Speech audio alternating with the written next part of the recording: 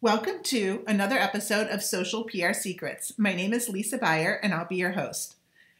My guest today is AJ Wilcox. I remember first meeting AJ at an SMX marketing conference a few years back.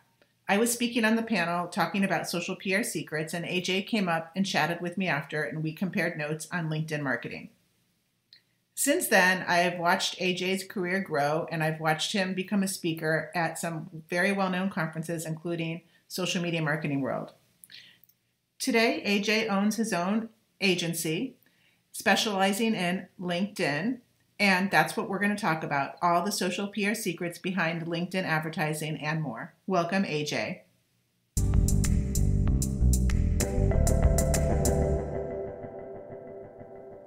Social PR secrets for LinkedIn. Hey, AJ, how are you? Oh, Lisa, I'm doing great. Thanks so much for having me on. Yeah, thanks for being part of this episode. And we're kind of in a really strange time. If you're listening to this podcast um, in real time or more in real time, you'll know, but hopefully we're past this if you're listening to it. And all of these tips will still be relevant. But um, I also want to focus on, you know, what's happening right now when it comes to LinkedIn and how we can leverage it for public relations from an organic and also a paid side. But before we get into that, AJ, tell us a little bit about your background, your journey, how you ended up um, where you are, and I'll let you go for it. Awesome. Well, I started out, uh, I've been a digital marketer for like 14 years now. Really loved search engine optimization, uh, Google ads kind of early on. But about eight years ago, I fell in love with LinkedIn as a platform. And I especially fell in love with LinkedIn ads.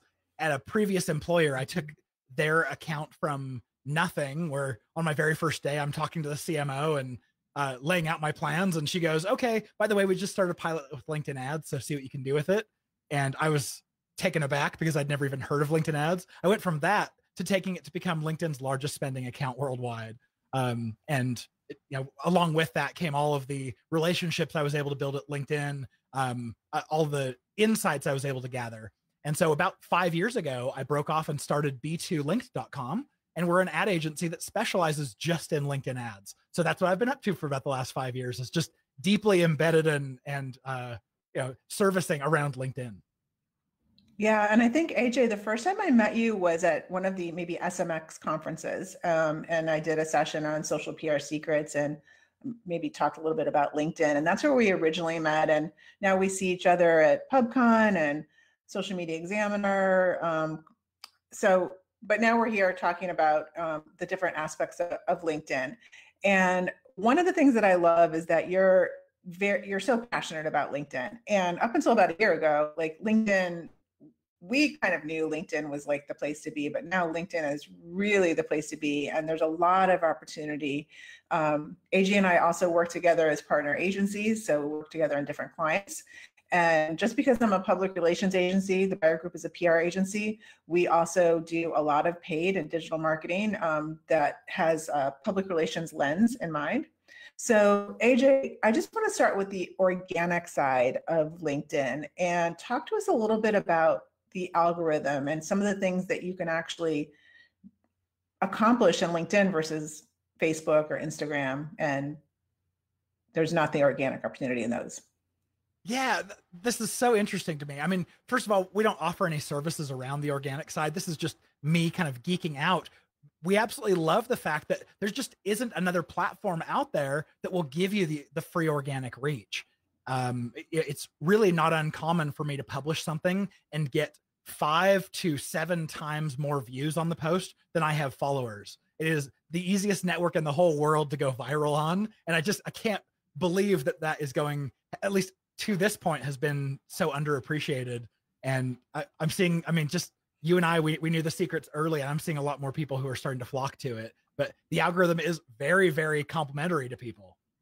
Yeah, and uh, I mean, somebody's LinkedIn page for business, for example, um, a brand's LinkedIn page, you know, is is really prime for all different types of content, especially if you're B two B. So, what are you seeing um, as far as trends, just in general? It doesn't have to be just organic in LinkedIn. What are some things that are really working and what's appropriate, and how can brands make the most out of LinkedIn today? Well, first of all, your company page, it's really hard to get the same level of organic reach from a company as it is from an individual.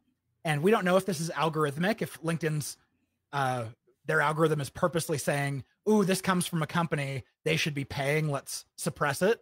Um, or if it's just people like to deal with other people, they like to know that there's a real person on the other end of that conversation and not just a faceless organization.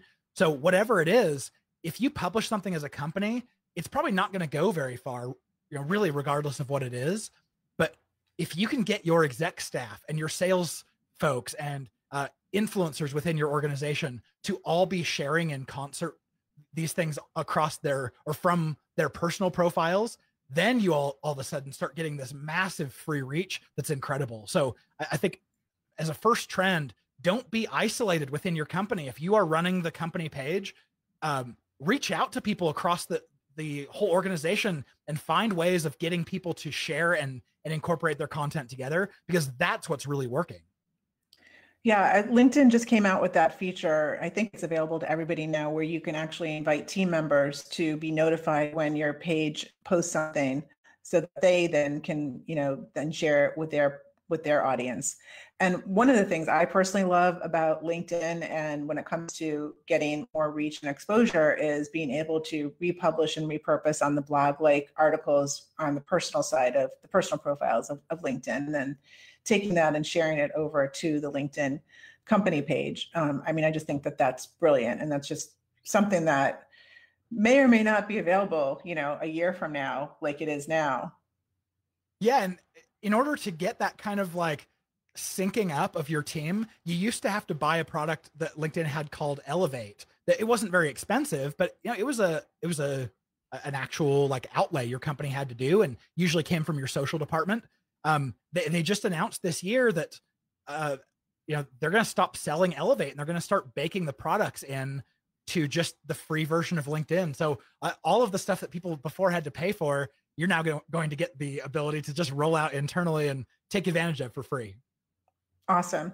So speaking of paid, what are some of your favorite um, ways to use LinkedIn from a paid standpoint, and how can how can it translate into helping companies get exposure and reach and visibility um, from a PR standpoint? And you don't have to keep it within PR, but what, what's tell us what's working.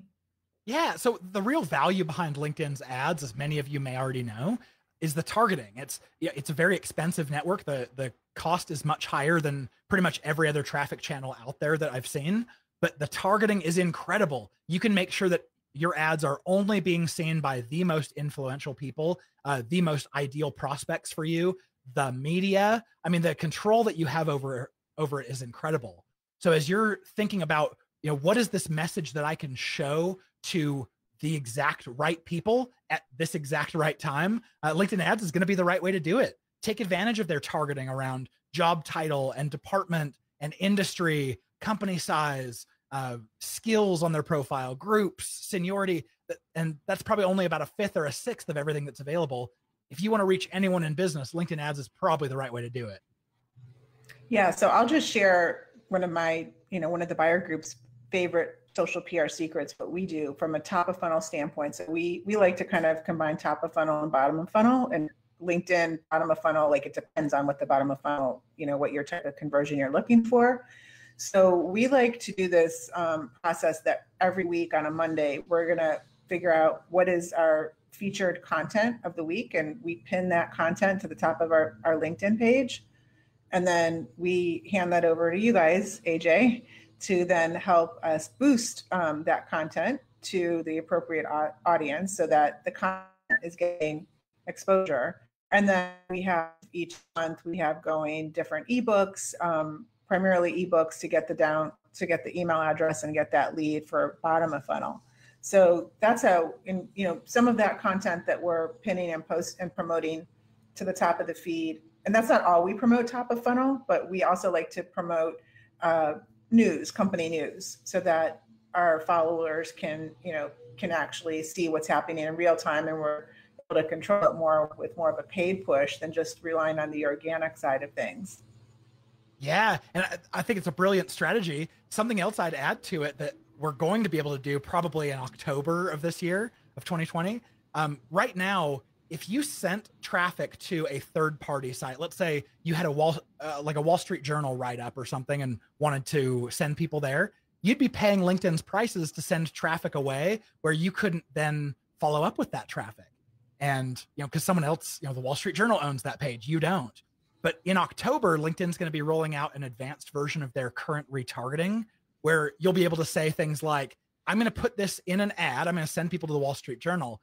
And any LinkedIn member who clicks on that ad, I then want to add to this audience to follow up with another offer. Maybe it is a demo request. Maybe it's a further, you know, a, a white paper or something like that. But something to follow up. And I'm so excited for this functionality to come out because in the PR world, that's going to give us a lot of credibility to be working with these, you know, third party, unbiased, uh, you know, people who are praising. Yeah. yeah, that's amazing. And I mean, LinkedIn is a major tool when it comes to media relations and trying to build relationships with the media or identify the right journalist with the right publication.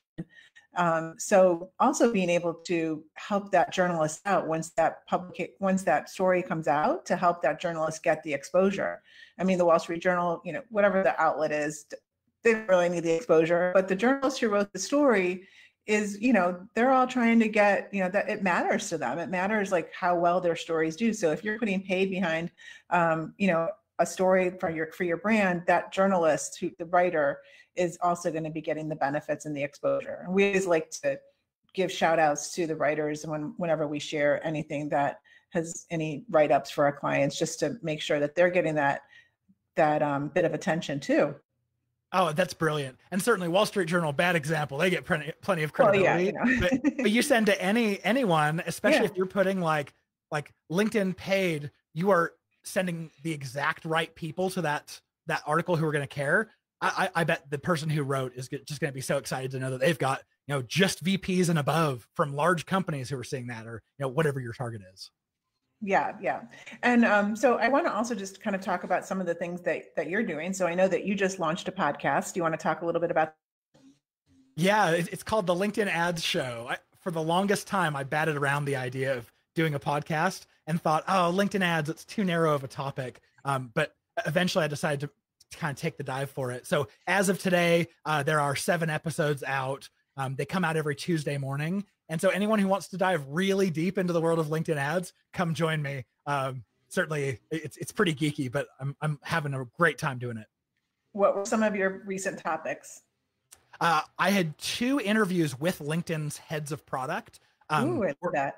Yeah, I had them come on to like describe how they're viewing their products and what their roadmap plans look like that was really cool. I had one all about bidding and budgeting, how to get the best costs on LinkedIn, one about targeting strategy. Uh, the one that drops tomorrow is going to be all about um, the differences between Facebook ads and LinkedIn ads and, you know, which are better in certain cases. So lots of good topics, and I don't have any shortage of ideas yet. So uh, feel free to tune in. Yeah, and um, so a lot of the conferences that we were all going to be speaking at have now um, been canceled because of coronavirus which is really sad. But I think everybody's reinventing and doing things like podcast or online summits and, and things like that. So, um, you know, speaking of events in general, so one of the things that I saw that came recently to LinkedIn was events that you're able to create, like uh, similar to Facebook, create an event. Can you promote those events through LinkedIn ads? Not yet, but I'm super excited for when we can. Uh, they were asking for my feedback really early on, and I just said, events are a fantastic idea. I love Facebook's events and how they have an ad format. Just please, please, please let it be a, a paid or organic uh, or an in person or a digital version of events um, so that they can be really versatile and we can use them for everything. So, uh, at least not yet from the ad side, but I know that there's at least plans to do so. And I'm hoping the sooner the better. Right. And when we talk about events, the events can be online events. They don't have to be a an actual event that you're um, using LinkedIn to get the word out about. So I think that that is um, it's super exciting to see that that's coming. Are there any other new things coming out that we should know about? You can give us a heads up that maybe we haven't talked about that brands should be taking advantage of. Yeah, right now there's a, a new ad format that LinkedIn has released to about 50% of people. So most likely by the time you hear this, this will be available to everyone, but it's called conversation ads and it shows up in your your messaging, your LinkedIn uh, InMail as a, promoted message, but it's it's like a chat bot. It, it'll ask you a question and you answer the question and depending on how you answer, it can give you access to two different offers. So imagine something like, "Hey, are you going to be at this event?" And if they answer yes, you go, cool. We'd love to offer you something uh, if you come by our booth and we'd love to do a, an in person meetup.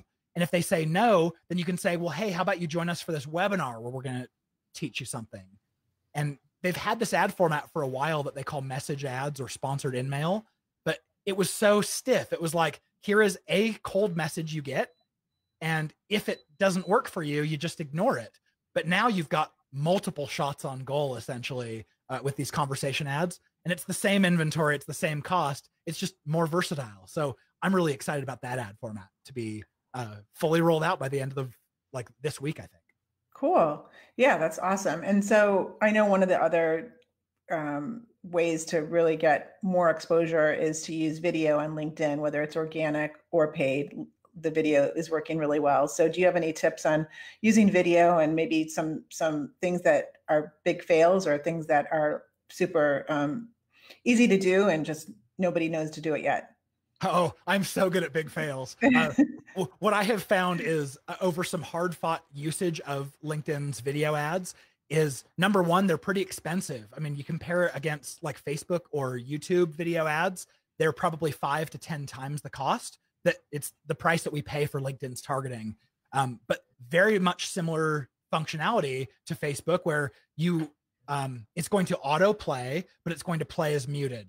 So it's super, super important to have your first uh, frame, your first couple of seconds of the video to have action, to capture them, to make it worth watching. And then realizing that 80% of the people aren't going to watch with sound on. So your subtitles are super, super valuable. Um, so those are the, the two biggest things I'd say is make sure your video is shortened to the point. Uh, it provides a lot of movement right up front and has the subtitles so that people will want to pay attention. And um, and then, like we talked about a little bit earlier on, this advanced retargeting that LinkedIn's coming out with, slated for October, it's going to work really well for video ads. We'll be able to say something like, if you watched 50% of my first video, now I want to show you the second one in the sequence. And this is all just going to make LinkedIn's video ads even more powerful. Yeah, totally.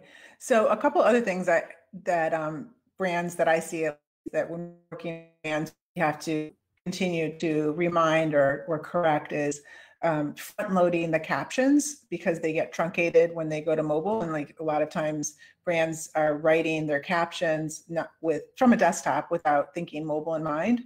So you know the first however many characters are that's all that's going to show up. So do you have any tips with that in mind of captions and um, when you're creating a post let's say that's going to be promoted um, any tips beyond that?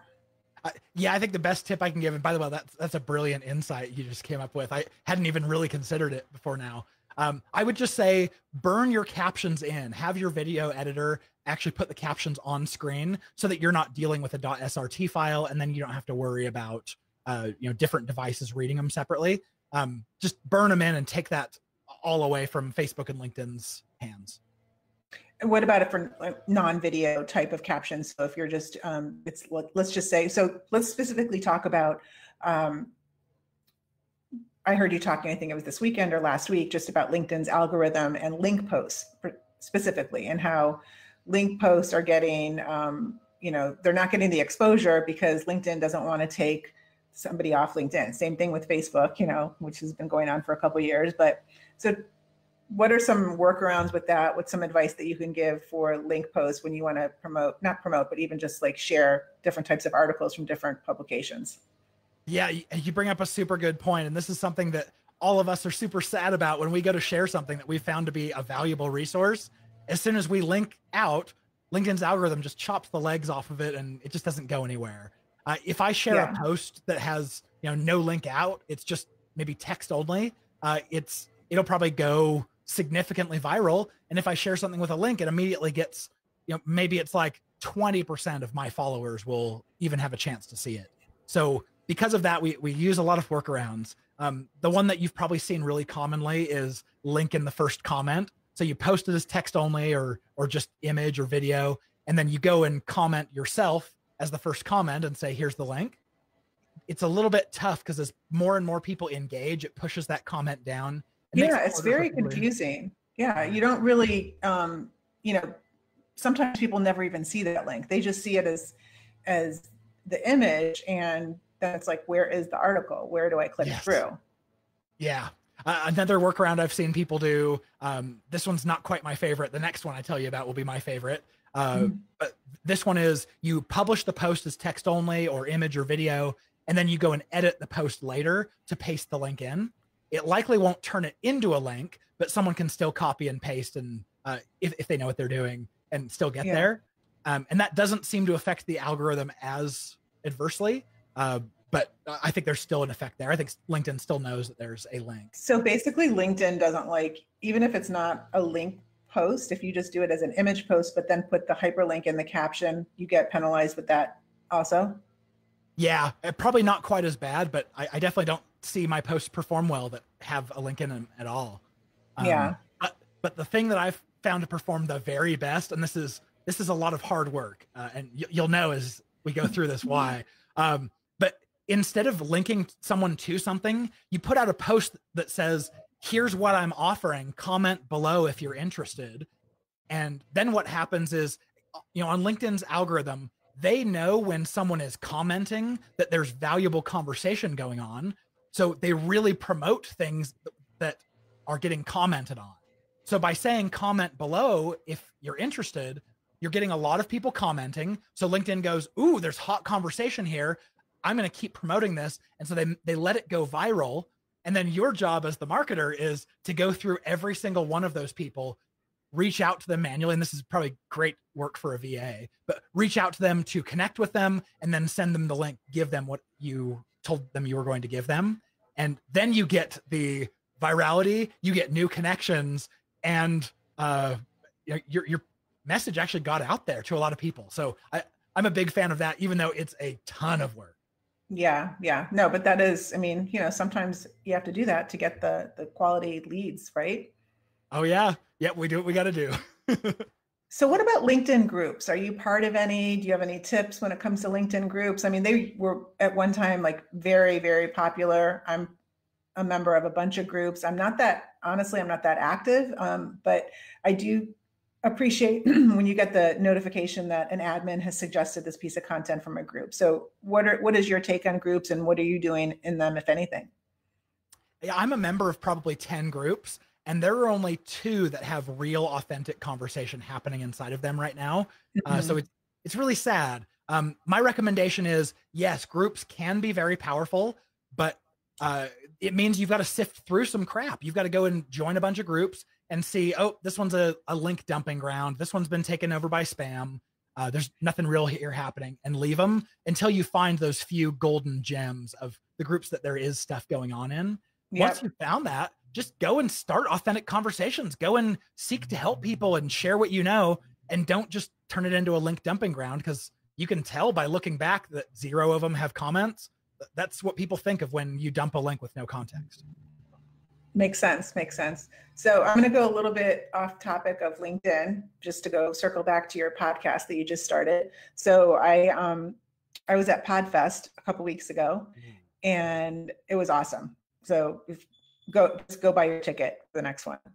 But um, I would love to know. So you, since you just started your podcast, do you have any tips for maybe people that are brands that are trying to start a podcast? Like, is there certain equipment that you somebody said, oh, you have to get this, or something that you did or the hosting platform like if there's just one or two tips just since you just went through the process and i'm taking my brands my my clients and also um, some of my brands through the process too so you know just curious of what what you have found in your in your journey of podcasting yeah i have had so much help from people uh, who are mentors to me who've given me such good advice uh, when i was very first considering launching the podcast i talked to michael stelzner who who runs the Social Media Examiner podcast in the social media marketing world. And he told me, he's like, Ooh, you've got to talk to this production company who does all of our editing. And so I talked to them and ended up using them for all of my editing.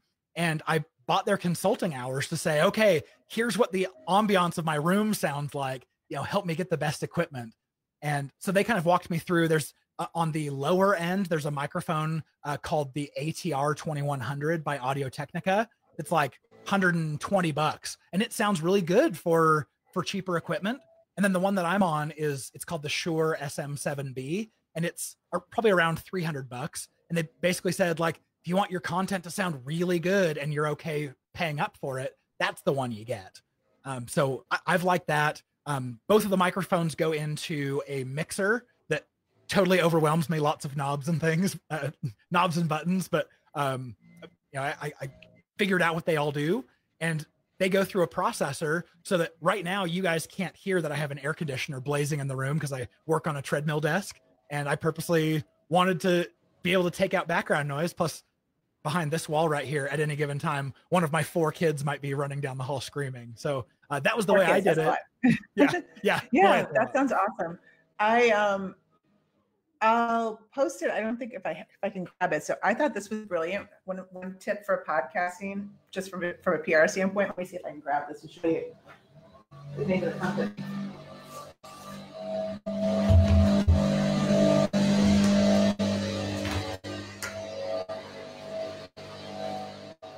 Yeah, you can hear my blower too. Hopefully, I'll be able to get uh, that background noise. um, okay, so this is really cool. So this company is called uh, Versa Mic Flags. So you can, can you see it? So you buy like yeah. branded thing that's going to go on your. You could put it on your, on, on, like I could put it on mine. Cool. So that when you're doing any type of video, it's like the brand. It's like you know, like you're the radio station. Oh, that's cool. I like that. Yeah. So I'll send that. you this. Yeah. So another really cool resource that I'll point out. Um, there's a company called Krisp, K R I S P, and okay. I mean, if you've gone the full like you have a processor route to take out background noise, that's you know that's one thing. But Krisp, uh, it's it's AI technology that's constantly listening to your audio stream and it's actively editing out background noise. Uh, and I think they have a freemium plan or something. I I got the um the paid plan when it was still new and got grandfathered in. But you can if you go with a cheaper mic, um, you can literally like hold the mic up to uh like a go-kart or something on an engine and it'll actively take it out for you um so yeah I, would recommend that's a really cool one if people are in a noisy environment and just want to make sure their audio sounds good yeah i mean and you know we've gotten to the point where it's i mean sometimes like when you're doing a podcast interview you can't control the person on the other side. So people are, seem more forgiving than let's just say a year ago even when when podcasting was popular a year ago, but you know now it's like there's a lot of podcast brands that are starting their own podcast, and then they're being guest guesting on podcasts, and you know not everybody could have the perfect setup. Like like you have right now. Um, mine is isn't as pro as yours, but I'm glad to hear that tip. yeah, I, I, like Krisp. It's fun to watch. Uh, I heard about it because one of my LinkedIn connections shared a video of him like like scraping the um the head of his mic with with like sandpaper and stuff and you heard it one or two sw- swipes and then after that it just went totally silent um yeah i, oh, I so love cool. anything that can make uh, a noisy environment sound real good that's awesome um, so getting back to linkedin are there any other big big tips that you want to share or um, things that you that are coming up besides your podcast any events that you're going to be part of that we can we can make sure we tune into Ooh, uh, I would point you towards one of the seven events that I was speaking at that got canceled this year. Uh, that's that's super unfortunate, but I do have well, a hopefully book. you have a book coming? Yeah, I do. I have a book coming out in. Um, I, I'm on the last like 40 pages, so uh, hopefully, you know, it won't take another like year. I've been promising this thing for a year, uh, but hopefully in another two three months, I've, I've got a book coming out all about LinkedIn ads. So that in concert with the podcast, I think will be uh, my seminal uh, giving to the world of all of my knowledge, and then people won't need me anymore. awesome, awesome. Well, if anybody's looking for a LinkedIn expert, if you're writing an article, um, I turn to AJ all the time as my expert source for some of my search engine journal articles. So definitely um, follow him, tune into his podcast. Um, I'm going to take like a little bit of a, a diversion. Um, so we have like an encore part, which is called Digital Detox Secrets. So I don't know if I sent you the book or not, but I will if I didn't. So Ooh. it was um it came out in October, and right now, ironically, we're being forced into a digital detox because of what's happening in the world, right? We're using digital to our advantage, but we're also being like taken out of um, you know a lot of things that we're normally doing. So do you have any tips that you do just to kind of stay balanced and we we live in this social media 24 7 world both of us because our professions are related to to um, to social and tied to social what do you do to stay balanced having four kids and going through what we're going through man i'm probably the wrong one to ask about balance i'm just a you know just keep chasing chasing chasing until i fall down and pass out um, but one thing i've found is I I can give my full energy to LinkedIn as a channel. Um, but it also means I'm going to ignore the other channels that I should be doing things in. It means my Twitter's not going to get as much action, Facebook for sure. I'm not going to be able to answer as many questions on Quora as I want to. Uh, but that's just what I've chosen to do. I, have chosen my one channel and I choose one major um, thing I want to get done each day uh, or each period of the day. And that helps me focus long enough to make sure things are actually getting done so that I can unplug it, you know, five, six, seven, whatever it is until work's done. But then I can go and give the rest of my attention to my family. So kind of along the lines of, did you read that book, The One Thing, where it focuses on, you know, the one thing that you get done each day. And that's the most important thing, which before I read that book, I would find myself like, oh, let me finish these five little things before I can focus on my one thing, because then I won't be able to focus on my one thing, you know? Yes. sometimes I still fall into that trap. But yeah, you know, those are along the lines of, you know, anything else that you do just to, um, you know, kind of keep your sanity. If you're, I'm assuming you're working from home now with, yeah. That, with, yeah, everything that's going on. So any work from home tips that you're finding that work for you that you want to share? Oh, uh, for me, a treadmill desk has done wonders. Um, I started working from home as soon as I started the company about five years ago. And I, I pretty fast got onto a treadmill desk where you know, I'm walking at three miles an hour all day long and I don't want to deviate and do other things. My brain doesn't want to wander. It's okay focusing just on the task ahead of me because my body is is fully engaged so doing something else. Constant movement. Yeah. Yeah. And it's so much better than a standing desk because standing, like even during this interview, you'll see me kind of like shifting my weight as I'm, you know, letting muscles get get relaxed. But when you're in a walking motion, you your muscles are uh, it's a really natural motion that your muscles never get tired of. Right, right. Yeah. So um, I actually used to have a um, a treadmill desk for like two years, and I had to get rid of it because I moved my office and I didn't have the space for it. But I that I mean I lost like ten pounds the first like six months because I just was constantly um, you know moving, which is so so great. And now what I do because I don't have a stand up desk or or um, a treadmill desk is I try to walk a little bit in the morning, walk a little bit at around noon, then walk at the end of the day. So I'm not just constantly sitting. Um, but thank you for those tips. I really appreciate it. And I'm sure everybody else does too. So AJ, unless there's anything else that you can think of that you didn't share with us that you think is um, something that you want to get out there, I really appreciate your time. No, thanks. You've been super kind at promoting the stuff I'm doing. I, I appreciate it. I'm just so glad I could uh, share my value and anything I know with you guys. Well, as soon as the book draft comes out, send it to me. I will be sure to do a write up on it and share it with my audience and do some of the top takeaways for my search engine journal article that comes out once a month. It might be twice a month now, now that things are the way they are. So we'll see. Oh, that would be wonderful. Thanks so much. All right, AJ. Thank you so much. Have a great rest of the day. Be well and namaste. See ya.